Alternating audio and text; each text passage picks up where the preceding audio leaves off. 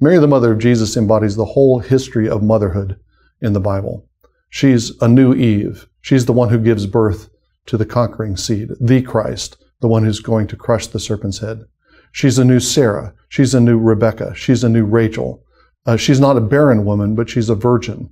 And the birth of her child is a miracle birth. But Mary surpasses all the miracle mothers of Israel's history. The barren women of Israel's history bear because of a miracle. God opens the womb, but they have, a, they have human husbands who bear the child. Mary doesn't. Mary's child has only one father, the Heavenly Father. Mary is overshadowed by the Spirit in a way that none of the women of the Old Testament were. As the glory cloud overshadowed the tabernacle, Mary becomes a tabernacle and bears the Holy One of Israel within her own womb. The church has determined that Mary is Theotokos. She is the God-bearing one. She doesn't just she doesn't just give birth to the human nature of the Christ, but she gives birth to the God-man. The Son goes through the entirety of a human story, from conception through birth, through growth, through death, through resurrection.